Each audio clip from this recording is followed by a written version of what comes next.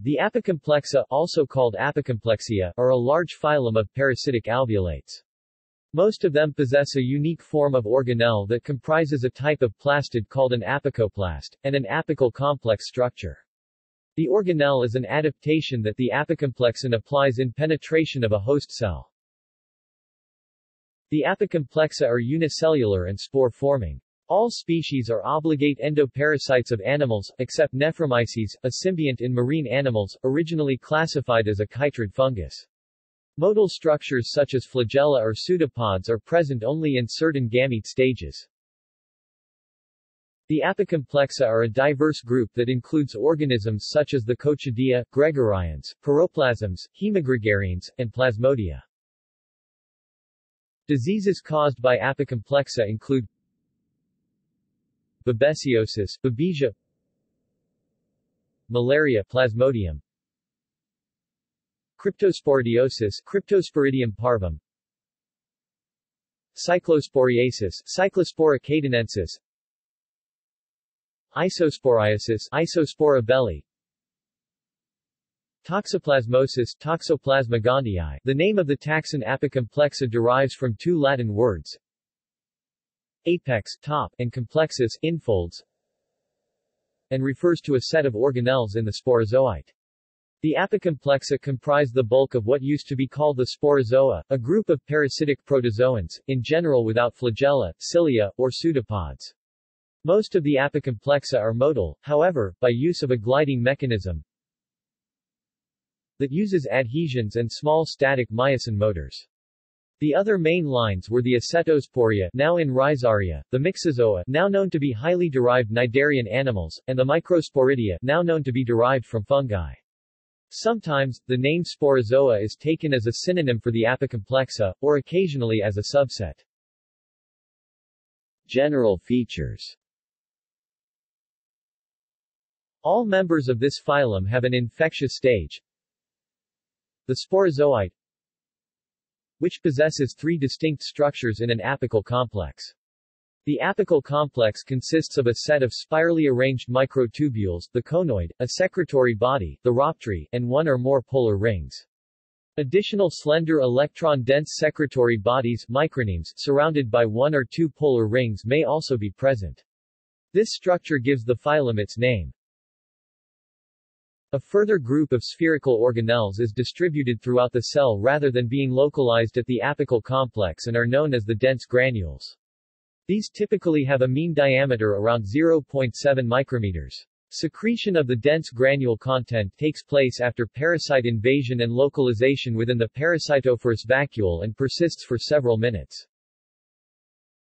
Other morphological findings common to all members of this phylum include the nucleus is haploid. Flagella are found only in the motile gamete. These are posteriorly directed and vary in number, usually 1 to 3. Basal bodies are present. Although hemosporidians and piroplasmids have normal triplets of microtubules in their basal bodies, coccidians and gregarines have nine singlets. The mitochondria have tubular cristae. A Golgi apparatus is present. Centrioles, chloroplasts, ejectile organelles, and inclusions are absent. Colorless plastids are present in some species. The cell is surrounded by a pellicle of three membrane layers, the alveolar structure, penetrated by micropores, replication. Mitosis is usually closed, with an intranuclear spindle, in some species, it is open at the poles. Cell division is usually by schizogony. Meiosis occurs in the zygote. Mobility Apicomplexans have a unique gliding capability which enables them to cross through tissues and enter and leave their host cells. This gliding ability is made possible by the use of adhesins and small static myosin motors. Other features common to this phylum are a lack of cilia, sexual reproduction, use of micropores for feeding, and the production of oocysts containing sporozoites as the infective form. Most apicomplexans have an apicoplast, a non-photosynthetic plastid, and mitochondrial and nuclear genomes, although Cryptosporidium species and Gregarines are possible exceptions, as they are thought to have lost their plastids after the diverging last common ancestor of apicomplexans. General features of the subgroups Within this phylum are three groups, Coccidians, Gregarines, and Hemosporidians. The Coccidians and Gregarines appear to be relatively closely related. Perkinsus, while once considered a member of the Apicomplexa, has been moved to a new phylum, Perkinsozoa. Gregarines The Gregarines are generally parasites of annelids, arthropods, and mollusks. They are often found in the guts of their hosts, but may invade the other tissues. In the typical Gregarine life cycle, a trophozoite develops within a host cell into a schizont. This then divides into a number of merozoites by schizogony. The merozoites are released by lysing the host cell, which in turn invade other cells. At some point in the apicomplexan life cycle, gametocytes are formed. These are released by lysis of the host cells, which group together. Each gametocyte forms multiple gametes. The gametes fuse with another to form oocysts. The oocysts leave the host to be taken up by a new host. Coccidians In general, coccidians are parasites of vertebrates. Like Gregarines, they are commonly parasites of the epithelial cells of the gut, but may infect other tissues. The coccidian life cycle involves merogony, gametogony, and sporogony. While similar to that of the Gregarines it differs in zygote formation. Some trophozoites enlarge and become macrogamete, whereas others divide repeatedly to form microgametes anisogamy. The microgametes are motile and must reach the macrogamete to fertilize it. The fertilized macrogamete forms a zygote that in its turn forms an oocyst that is normally released from the body. Syzygy, when it occurs, involves markedly anisogamous gametes. The life cycle is typically haploid, with the only diploid stage occurring in the zygote, which is normally short-lived. The main difference between the coccidians and the gregarines is in the gametes. In the coccidia, these are small, intracellular, and without epimerites or mucrons.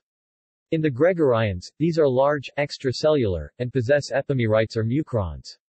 A second difference between the coccidia and the gregarines also lies in the gametes. In the coccidians, a single gamete becomes a macrogametocyte, whereas in the gregarines, the gametes give rise to multiple gametocytes. Hemosporidia The Hemosporidia have more complex life cycles that alternate between an arthropod and a vertebrate host. The trophozoite parasitoses erythrocytes or other tissues in the vertebrate host. Microgametes and macrogametes are always found in the blood. The gametes are taken up by the insect vector during a blood meal. The microgametes migrate within the gut of the insect vector and fuse with the macrogametes. The fertilized macrogamete now becomes an ookinete, which penetrates the body of the vector. The ookinete then transforms into an oocyst and divides initially by meiosis and then by mitosis haplontic life cycle to give rise to the sporozoites. The sporozoites escape from the oocyst and migrate within the body of the vector to the salivary glands where they are injected into the new vertebrate host when the insect vector feeds again. Reproduction and life cycle Most members have a complex life cycle, involving both asexual and sexual reproduction. Typically, a host is infected via an active invasion by the parasites, similar to entosis, which divide to produce sporozoites that enter its cells. Eventually, the cells burst, releasing merozoites, which infect new cells. This may occur several times, until gametes are produced, forming gametes that fuse to create new cysts. Many variations occur on this basic pattern, however, and many apicomplexa have more than one host. The apical complex includes vesicles called rhoptries and micronemes, which open at the anterior of the cell. These secrete enzymes that allow the parasite to enter other cells. The tip is surrounded by a band of microtubules, called the polar ring, and among the conoidosida is also a funnel of tubulin proteins called the conoid. Over the rest of the cell, except for a diminished mouth called the micropore, the membrane is supported by vesicles called alveoli, forming a semi-rigid pellicle. The presence of alveoli and other traits place the apicomplexa among a group called the alveolates.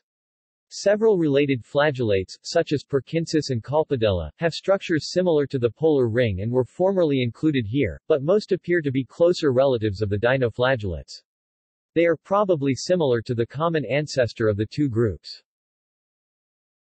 Another similarity is that many apicomplexan cells contain a single plastid, called the apicoplast, surrounded by either three or four membranes. Its functions are thought to include tasks such as lipid and heme biosynthesis, and it appears to be necessary for survival. In general, plastids are considered to have a common origin with the chloroplasts of dinoflagellates, and evidence points to an origin from red algae rather than green. Parasitology and genomics Many of the apicomplexan parasites are important pathogens of human and domestic animals. In contrast to bacterial pathogens, these apicomplexan parasites are eukaryotic and share many metabolic pathways with their animal hosts. This makes therapeutic target development extremely difficult. A drug that harms an apicomplexan parasite is also likely to harm its human host. At present, no effective vaccines are available for most diseases caused by these parasites. Biomedical research on these parasites is challenging because it is often difficult, if not impossible, to maintain live parasite cultures in the laboratory and to genetically manipulate these organisms. In recent years, several of the apicomplexan species have been selected for genome sequencing. The availability of genome sequences provides a new opportunity for scientists to learn more about the evolution and biochemical capacity of these parasites. The predominant source of this genomic information is the EuPathDB family of websites, which currently provides specialized services for Plasmodium species PlasmoDB, Coccidians ToxoDB, Piroplasms PiroplasmaDB, and Cryptosporidium species CryptoDB. One possible target for drugs is the plastid, and in fact existing drugs such as tetracyclines, which are effective against apicomplexans, seem to operate against the plastid. Blood-borne genera Within the apicomplexa are three suborders of parasites. Suborder Adeleorina 8 genera. Suborder Hemosporina All genera in this suborder. Suborder Eimeriorina Two genera, Lankesterella and Schellackia, within the Adeleorina are species that infect invertebrates and others that infect vertebrates. The Eimeriorina, the largest suborder in this phylum. The life cycle involves both sexual and asexual stages. The asexual stages reproduce by schizogony. The male gametocyte produces a large number of gametes and the zygote gives rise to an oocyst, which is the infective stage. The majority are monoxenous, infect one host only, but a few are heteroxenous life cycle involves two or more hosts. The number of families in this later suborder is debated, with the number of families being between 1 and 20 depending on the authority and the number of genera being between 19 and 25. Evolution All members of this phylum are parasitic and evolved from a free-living ancestor. This lifestyle is presumed to have evolved at the time of the divergence of dinoflagellates and apicomplexans. Further evolution of this phylum has been estimated to have occurred about 800 million years ago. The oldest extant clade is thought to be the archigregarines. Many coccidiomorpha have an intermediate host, as well as a primary host, and the evolution of hosts proceeded in different ways and at different times in these groups. For some coccidiomorphs, the original host has become the intermediate host, whereas in others it has become the definitive host. In the genera Aggregata, Atoxoplasma, Cystoisospora, Schellackia, and Toxoplasma, the original is now definitive, whereas in Akiba, Babesiosoma, Babesia, Hemigregarina, Hemoproteus, Hepatozoon, Karyolysus, Leucocytozoon, Plasmodium, Sarcocystis, and Theileria, the original hosts are now intermediate. Similar strategies to increase the likelihood of transmission have evolved in multiple genera. Polyenergid oocysts and tissue cysts are found in representatives of the orders Protococcidiorida and Eimeriida. Hypnozoites are found in Karyolysus lacertae in most species of Plasmodium. Transovarial transmission of parasites occurs in life cycles of Karyolysus and Babesia. Horizontal gene transfer appears to have occurred early on in this phylum's evolution with the transfer of a histone H4 lysine 20 H4K20 modifier, KMT5A, set 8, from an animal host to the ancestor of apicomplexans. A second gene, H3K36-methyltransferase ASHR3 in plants, may have also be horizontally transferred. Phylogenetic relations this has rarely been studied at the subclass level. The Hemosporidia are related to the Gregarines and the Piroplasms and Coccidians are sister groups. The Hemosporidia and the Piroplasma appear to be sister clades and are more closely related to the Coccidians than to the Gregarines. Transposons appear to be rare in this phylum, but have been identified in the genera Ascogregarina and Eimeria. Taxonomy History the first Apicomplexa protozoan was seen by Antony van Leeuwenhoek, who in 1674 saw probably oocysts of Eimeria stiedae in the gall bladder of a rabbit. The first species of the phylum to be described, Gregarina ovata in earwigs intestines, was named by Dufour in 1828. He thought that they were a peculiar group related to the trematodes, at that time included in Vermes. Since then, many more have been identified and named. During 1826 to 1850, 41 species and 6 genera of Apicomplexa were named. In 1951 to 1975, 1873 new species and 83 new genera were added. The older taxon Sporozoa, included in Protozoa, was created by Leuckart in 1879 and adopted by Bütschli in 1880. Through history, it grouped with the current Apicomplexa many unrelated groups. For example, Kudo 1954 included in the Sporozoa species of the Acetosporea, Rhizaria, Microsporidia, fungi, Myxozoa, Animalia, and Helicosporidium, Chlorophyta, while Zierdt 1978 included the genus Blastocystis, Stramenopiles. Dermocystidium was also thought to be sporozoan. Not all of these groups had spores, but all were parasitic. However, other parasitic or symbiotic unicellular organisms were included too in protozoan groups outside Sporozoa, Flagellata, Ciliophora and Sarcodina, if they had flagella e.g., many Kinetoplastida, Retortomonadida, Diplomonadida, Trichomonadida, Hypermastigida, cilia e.g., Balantidium, or pseudopods e.g., Entamoeba, Acanthamoeba, Naegleria. If they had cell walls, they also could be included in plant kingdom between bacteria or yeasts. Sporozoa is no longer regarded as biologically valid and its use is discouraged, although some authors still use it as a synonym for the apicomplexa. More recently, other groups were excluded from apicomplexa, e.g., Perkinsus and Colpodella now in Protalveolata. The field of classifying apicomplexa is in flux and classification has changed throughout the years since it was formally named in 1970. By 1987, a comprehensive survey of the phylum was completed. In all, 4,516 species and 339 genera had been named. They consisted of Class Conoidasida Subclass Gregarinacina p. p. Order Eugregarinorida, with 1624 named species and 231 named genera. Subclass Coccidiacina p. p. Order Eucoccidiorida p. p. Suborder Adeleorina p. p. Group Hemigregarians, with 399 species and 4 genera suborder Eimeriorina, with 1771 species and 43 genera.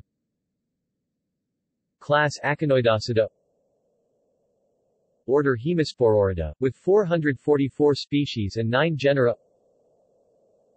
Order Piroplasmorida, with 173 species and 20 genera other minor groups omitted above, with 105 species and 32 genera. Though considerable revision of this phylum has been done, the order Hemosporidia now has 17 genera rather than 9. These numbers are probably still approximately correct. Jacques Euzéby, 1988 Jacques Euzéby in 1988 created a new class Hemosporidiacina by merging subclass Piroplasmacina and suborder Hemospororina. Subclass Gregarinasina, the Gregarines. Subclass Coccidiacina. Suborder Adeleorina, the Adeleorans Suborder Eimeriorina, the Eimeriorans Subclass Hemosporidiacina Order Achromatorida Order Chromatorida division into Achromatorida and Chromatorida, although proposed on morphological grounds, may have a biological basis, as the ability to store hemozoin appears to have evolved only once. Roberts and Janovy, 1996. Roberts and Janovy in 1996 divided the phylum into the following subclasses and suborders, omitting classes and orders. Subclass Gregarinasina, the Gregarines. Subclass Coccidiacina. Suborder Adeleorina, the Adeleorans Suborder Eimeriorina, the Eimeriorans Suborder Hemospororina, the Hemospororans Subclass Piroplasmacina, the Piroplasms these form the following five taxonomic groups the gregarines are, in general, one-host parasites of invertebrates. The Adeleorans are one-host parasites of invertebrates or vertebrates, or two-host parasites that alternately infect hematophagous blood-feeding invertebrates and the blood of vertebrates. The Eimeriorans are a diverse group that includes one host species of invertebrates, two host species of invertebrates, one host species of vertebrates and two host species of vertebrates. The Eimeriorans are frequently called the Coccidia. This term is often used to include the Adeleorans.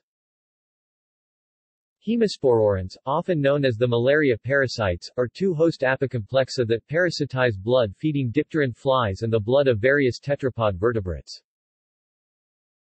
Piroplasms where all the species included are two-host parasites infecting ticks and vertebrates. Perkins, 2000. This scheme is taken from Perkins et al. It is outdated as the Perkinsidae have since been recognized as a sister group to the dinoflagellates rather than the Apicomplexia. The remainder of the scheme appears to be valid. Class Aconoidasida conoid present only in the ookinete of some species order Hemospororida macrogamete and microgamete develop separately. Syzygy does not occur. Ookinete has a conoid. Sporozoites have three walls. Heteroxenous alternates between vertebrate host, in which merogony occurs, and invertebrate host, in which sporogony occurs. Usually blood parasites, transmitted by blood-sucking insects, order Piroplasmorida class Conoidosida subclass Gregarinasina order Archigregarinorida. Order Eugregarinorida suborder Adeleorina suborder Eimeriorina order Neogregarinorida subclass Coccidiacina. Order Agamacoccidiorida order Eucoccidiorida. Order Ixorheorida. Order Protococcidiorida class Perkinsaceae order Perkinsorida family Perkinsidae named Protospiromonadida has been proposed for the common ancestor of the Gregarinomorpha and Coccidia References External links Brands, S.J. 2000. The Taxonomicon and Systema Naturae website database. Taxon, genus Cryptosporidium. Amsterdam, the Netherlands, Universal Taxonomic Services. David Roos's Seminar, Biology of Apicomplexan Parasites.